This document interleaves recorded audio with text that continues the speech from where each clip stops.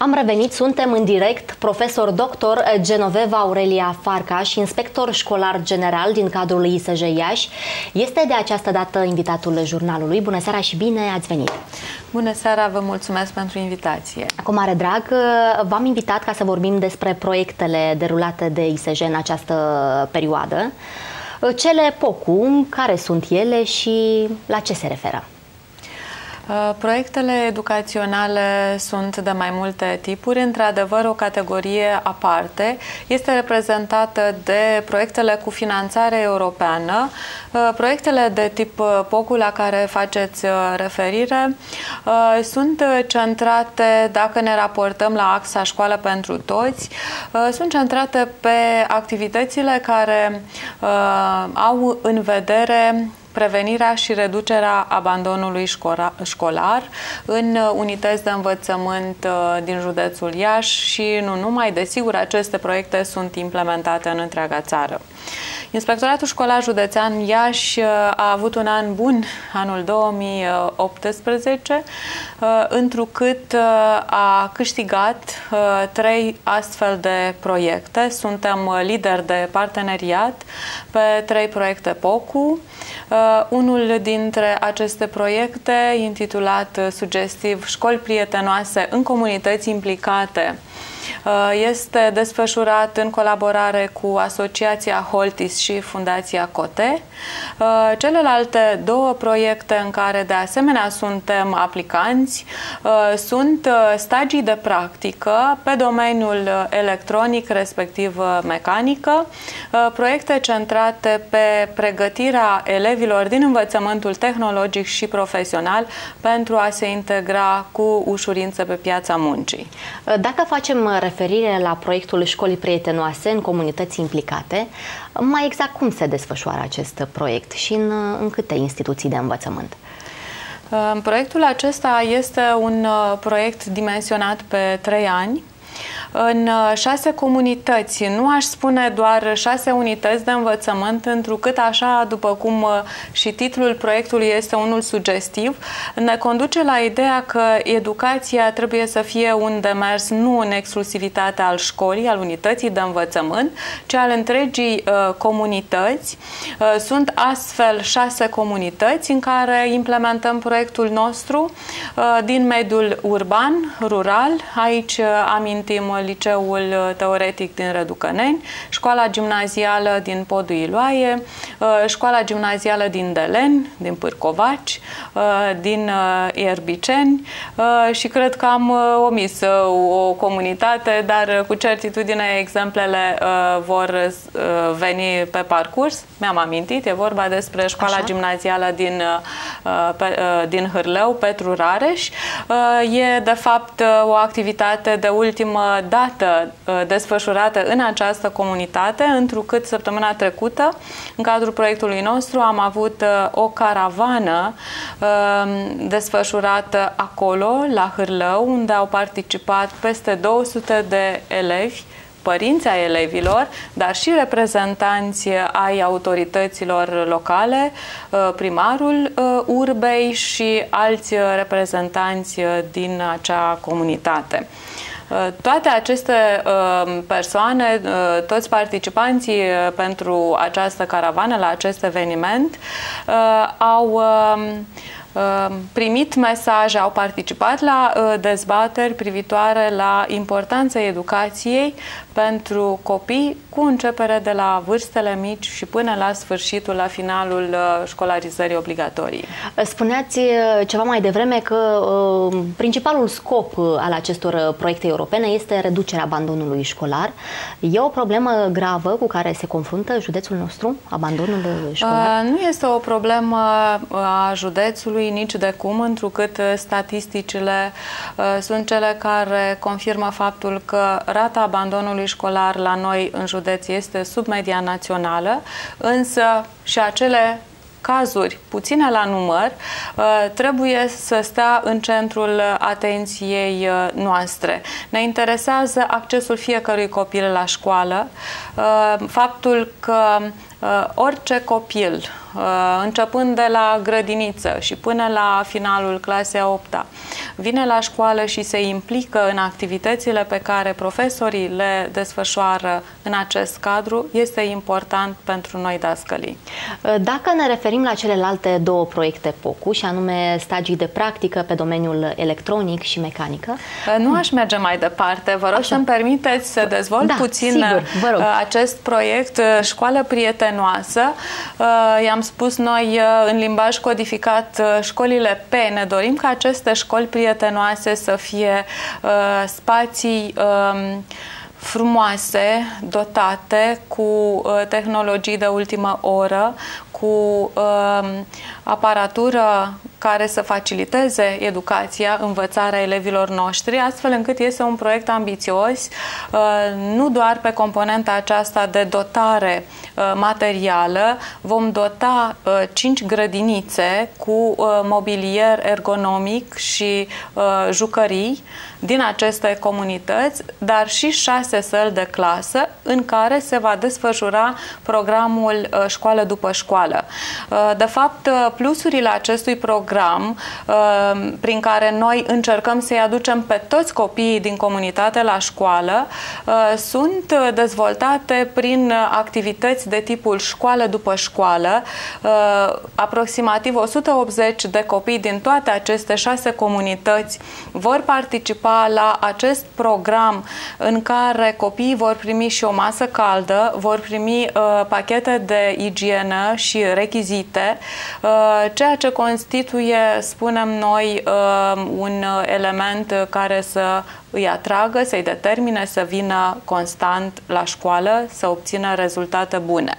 Mai mult decât atât, uh, tinerii sau elevii care au abandonat școala pot beneficia uh, de uh, activități de învățare, de continuare a studiilor prin programul A doua șansă, aici fiecare cursant primind suma de 200 de lei pe o perioadă de 16 luni. Sunt și alte activități pe care proiectul nostru le va implementa în următoarea perioadă.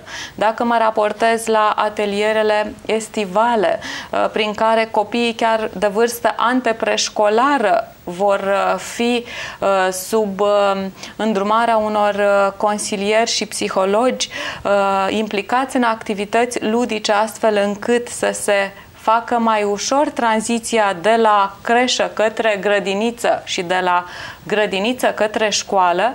Sunt de asemenea uh, proiecte ambițioase uh, pe care le avem în, în acest uh, context. Patru școli de vară, două concursuri, Cupa Prieteniei, concursuri sportive. Sunt alte câteva elemente pe care le aduce acest proiect. Ați subliniat faptul că prin acest proiect vor fi dotate școlile. Când ar urma să fie realizate aceste dotări?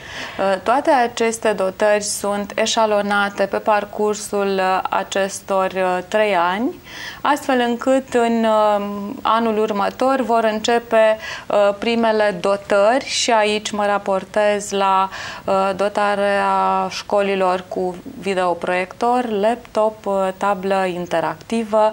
Sunt dotări moderne de ultimă generație care cu certitudine vor determina determina uh, creșterea interesului uh, elevilor pentru activitățile ce se vor desfășura în școală. Uh, cum au fost selectate aceste școli? Era o necesitate aceste, erau o necesitate aceste dotări acolo?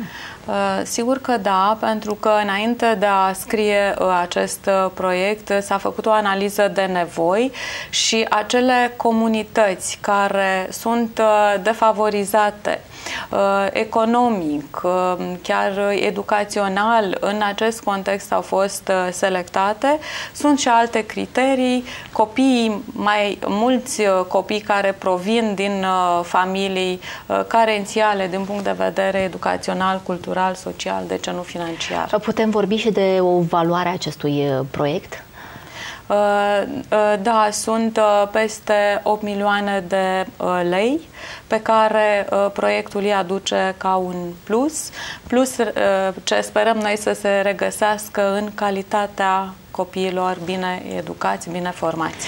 Bun, acum putem trece la următoarele două proiecte, stagii de practică pentru domeniul um, electronic și mecanică, da? Sunt alte două proiecte, tot...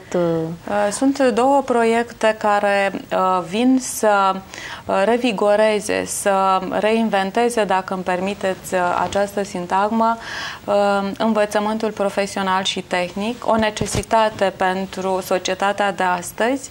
Avem nevoie de meseriași, avem nevoie de elevi bine formați din punct punctul acesta de vedere în liceele tehnologice, în școlile profesionale, uh, un număr de 334 de elevi pe fiecare dintre cele două proiecte vor fi uh, inițiați prin stagii de practică, prin firme de exercițiu, uh, în calificările respective, electronic și mecanică, astfel încât după absolvirea uh, liceului, respectiv a școlii profesionale, să fie mai ușor integrați pe piața muncii. Totodată, elevii care sunt în acest grup țintă beneficiază de activități de consiliere, de orientare școlară și profesională, atât de utile pentru ca fiecare dintre ei să poată să-și aleagă drumul cel mai potrivit în viață. Acești peste o mie de elevi sunt uh, din tot județul sau sunt uh,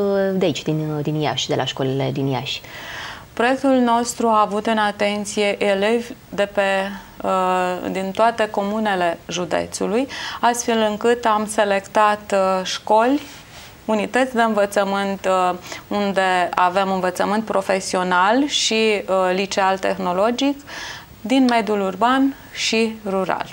Un alt proiect pe care îl derulați este legat de mobilitățile Erasmus. Iașul este pe primul loc, apropo, la acest capitol. Ce înseamnă o mobilitate Erasmus? Proiectele cu finanțare europeană de tip Erasmus, fie că ne raportăm la K1, fie că mergem pe cealaltă dimensiune K2, parteneriatele strategice, uh, aduc uh, un uh, plus valoric, educațional, prin faptul că atât elevii participanți la aceste mobilități, cât și profesorii care îi coordonează, reușesc să pătrundă foarte adânc în uh, sistemul de educație altor țări, în practicile care au făcut ca anumite sisteme educaționale să progreseze și, de ce nu, aceste practici să fie translate către noi. Avem nevoie de această comunicare, de această deschidere către țările europene și nu numai, uh, întrucât uh, este dovedit faptul că Uh, sunt uh, foarte multe elemente inovatoare uh, din zona aceasta didactică, de dezvoltare instituțională, de dezvoltarea managementului școlilor, care au fost preluate, au fost desigur adaptate școlilor din România și acest lucru nu poate decât să ne bucure. Uh, mai mult decât atât, în uh, județul uh, Iași avem aproximativ 100 de unități de învățământ care implementează în acest moment astfel de proiecte cu finanțare europeană. Sunt banii europeni care conduc către uh, rezultate sau ar trebui să conducă către rezultate superioare în uh, ceea ce privește managementul școlar, dotarea unităților de învățământ, să vedem și noi care sunt, cum sunt organizate spațiile de învățare pentru elevi în alte țări și, de ce nu, să preluăm, să adaptăm și să inovăm și aici. Avem nevoie de această uh, deschidere. Nu este doar un uh, câștig uh, educațional, ci și unul cultural, întrucât uh, Uh, elevii noștri um, în interacțiune cu elevi din alte țări reușesc să cunoască istoria, tradiția, cultura țării respective. Putem vorbi despre un uh, schimb de experiență în care uh, sunt implicați atât profesori cât și elevi. Practic, elevii însoțiți de profesori merg în alte țări, în alte unități de învățământ în alte țări, acolo unde stau câte o săptămână, cam așa am înțeles eu. Iar mai apoi, um, acei elevi unde au plecat ai noștri se întorc uh, aici, la Iași. Vin aici la Iași să, să vadă cum, cum se face școală. Da, sunt uh, uh, experiențe comune uh, pe care le au elevii de la noi cu elevii din țările partenere. Cred că e de bun augur să invitați un astfel de elev participant la o mobilitate europeană pentru a vedea uh, cât uh, încântare și cât, uh, știu eu, plus valoare aduce o astfel de mobilitate pentru dezvoltarea personală a elevului respectiv. Din discuțiile cu coordonatorii, sunt mulți elevi implicați sau care vor să se implice în acest proiect? Sunt mulți doritori? Uh, elevii își doresc să participe la astfel de mobilități, însă selecția o realizează școala, coordonatorul uh, proiectului respectiv și, desigur, doar o parte sunt beneficiare ai mobilității uh, respective. În județul Iași, în afara mobilităților cunoscute prin aceste tipuri de proiecte europene, aș adăuga uh, granturile norvegiene, întrucât în acest an uh, școlar au beneficiat de astfel de mobilități în uh, Norvegi, Norvegia și Islanda, cadre didactice și inspectori din cadrul instituției pe care o reprezint, Inspectoratul Școlar Județean Iași, dar și din cadrul Centrului Județean de Resurse și Asistență Educațională sau Um, de la Colegiul Tehnic uh, Stursa. Uh, toate costurile de mobilitate sunt acoperite prin acest proiect? De transport, cazare? Cazare, de fapt, cazare nu e nevoie în multe dintre aceste mobilități. Ei sunt cazați la elevi, la profesori de, din alte țări. Uh, toate aceste uh, practici educaționale implică, desigur, și un suport uh, financiar asigurat de fondurile europene, care sunt justificate pe fiecare componentă, dar aici aș include nu doar cazarea, transportul, ci sunt și alte costuri implicate în formarea profesorilor, în ghidurile pe care profesorii ulterior ulterior le uh, concep pentru a disemina practicile pe care le-au văzut în țările unde au uh, fost. Deci sunt acoperite uh, prin uh, proiect. Uh, despre un alt proiect uh, aș vrea să, să aducem în, discu- în discuție și proiectul CRED, în care uh, ISJ este partener. La ce se referă acest, uh, acest proiect?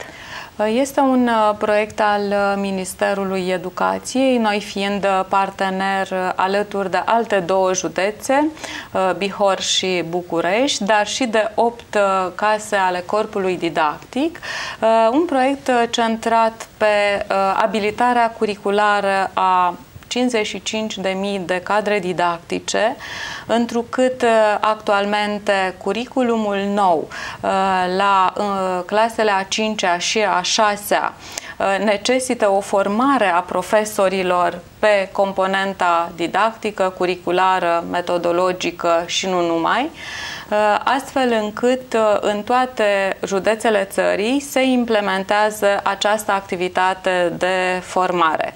Doar în trei județe, cele enumerate, vom desfășura în plus activități care să vină în uh, sensul formării profesorilor pentru a reduce abandonul școlar al elevilor. Uh, și acest proiect se înscrie pe axa Școală pentru Toți, asemenea proiectului uh, de care aminteam, școli prietenoase în comunități implicate, așadar, de ce nu, uh, reducerea fenomenelor de abandon școlar și de părăsire timpurie a școlii sunt prioritare pentru educație. Mai sunt proiecte importante pe care le desfășoară ISJ, doar că jurnalul nostru se apropie de sfârșit și nu mai avem timp să vorbim de despre ele. Vă așteptăm și cu altă ocazie și să veniți și cu alte informații noi. Vă mulțumesc pentru invitație. Cu mare drag. Doamnelor și domnilor, aici punem punct jurnalului. Sunt Olga Moroșan și vă mulțumesc pentru atenție. O seară liniștită vă doresc și vizionare plăcută în continuare. Vestimentația prezentatoarei a fost asigurată de NISA